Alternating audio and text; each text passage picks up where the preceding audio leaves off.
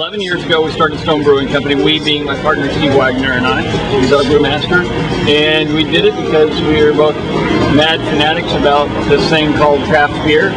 Um, actually, more popular at that time it was called micro micro brews, and we we wanted to just create our own version of what we thought great beer was all about. Um, recognizing that it was just you know going to be our little slice of that. Uh, so 11 years later, uh, we have this now. This is actually uh, the restaurant, the Stone Brewing World Bistro and Gardens, is just over a year old, year and three months, and the brewery production here in this facility is about two years old. Um, we moved over um, after spending nine and a half years in San Marcos, and now we're in Escondido. When we started Stone Brewing, we realized that we had different philosophies about beer than most people and most in the industry, even at that time. Uh, and more so that we had our own particular ideas about what we thought great beer was all about, and we decided that it was only fair for us to do what we felt inside and then share that. It's almost like being, you know, a musician, like being a band. I think you're doing everybody a disservice if you're not playing what style of music that you want to play. Granted, you got to be good at it. But if you are, if you're really doing something that's true to yourself and you're good at it, then that could, that's going to be pretty spectacular. So when it came to opening a restaurant, one, I wanted to not serve anybody anything that I wouldn't eat myself because I've studied about food quite a bit and I've learned about the industrial food system that we have here and all the failures that are entwined and entangled within. And understanding about how food is grown and distributed, etc. I only eat uh, natural meats or I eat no meat. And I don't even eat that much meat myself. And I uh, I seek out uh, locally grown in season organic vegetables and, and produce. And because I don't have anything that doesn't qualify for that in my house, well, essentially this is this is our house too. And you're honored guests. Everybody that comes through is an honored guest. And how do you treat an honored guest? No less than you would treat yourself. So that was a fundamental principle that we decided to apply here. So we have all organic, uh, naturally raised, in season, local produce, natural meats, and so on.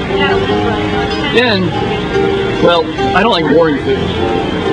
So thought, okay, now that we've got these great ingredients to start from, that we're going to get to the kitchen and let let our chef and, and, and kitchen team go wild. Let them go wild. Let them let them use their passion. Let them use their skills to create all these wonderful dishes. So that's the approach. It's eclectic. Catches people off guard sometimes. Hell, it even makes people angry. What do you mean you don't have a chicken sandwich and you know, french fries? No, we don't. You know, you want a chicken sandwich and french fries, go someplace that has that. You want fizzy yellow beer, go someplace that has that. But we don't do what those other people do. That's not what the world needs. It doesn't need more chicken sandwiches. It needs, I don't know if it needs us or not, but whether or not he needs it, we're here. That's all we do.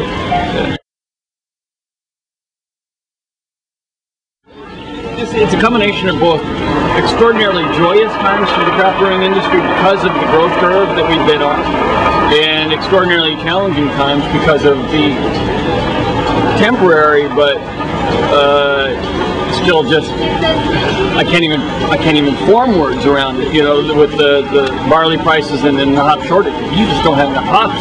Then what the hell do you do? Uh, especially if you think of the world like we do. Fortunately, it's known we've been contracting for a number of years for our hop needs. So even though we didn't see this particular thing coming, we were poised or prepared to be able to handle it. That that's good for us. Um, so short term, it's going to hurt. It's to, you know, certainly our anniversary uh, ale this year and the Stone Vertical Epic Ale for the o, the Stone 080808 Vertical Epic Ale. It's not going to be a hoppy beer. Um, but you know, in the larger, let's look forward a couple of years once we get out of this this very troubling circumstance. But it will, you know, this too will pass. Um, it's exciting for craft brewers because we really seem, we collectively now as craft brewers, really seem to have gotten a lot better connecting with the public, or maybe the public better connecting with us, or it's probably the reality. It's a mutual thing. And it's hard for me to fathom that going away, as long as we collectively craft brewers continue to maintain our focus it's troubling to me every once in a while when somebody comes out with a Berry and you know, light, you know, or, or coming out with a light, what they call label a light beer, or, you know, any of these sort of very trendy non-craft forays because it reflects on all of us in the craft beer industry. That's why when you look at our 32 taps, eight to ten of which are usually stone and the rest are guest taps, you're going to see only really nice quality guest taps, only really great quality uh, craft beers, and never, the, never ever the fizzy yellow stuff, ever, ever the fizzy yellow stuff. But also, uh, we don't put on, you know, the, the mediocre guys either, and even though they might be in the craft beer world. Uh, as long as the craft beer enthusiast continues to uh, educate themselves, and understand and support the ones that are really great, uh, I think we're all going to do very, very well. And the guys that should fall by the wayside will. Every time a great brewery opens, I dance a jig. Every time a bad brewery closes, I dance a jig. Uh, so that's my fundamental attitude. I've never uh, been so forgiving is to say there's no such thing as a bad beer. Uh, unfortunately, uh, and, you know the thing is, the people that make really mediocre beer genuinely recognize that fact within themselves. They, they think for some reason that the world still there's a niche that they can they can fit. Why you even want to go down that path? I have no idea. Um, but whatever the reason is that they're making mediocre beer, I don't think that. Uh, well, I don't need them. they go away, I won't mind. I want to thump some some consumers on the head. Okay, all the time. Okay, right now, give me, give me. Uh, if you haven't figured out craft beer yet and what a really good one is all about, and that light, you know, allow that light bulb to turn on in your head, okay, you're the one that you thump, thump yourself because I'm not there to do it for you right now. Give yourself a good thumping. And my God, smell the really nice roasty barley and wonderful hops. And, get with it. Well, I can't anyway.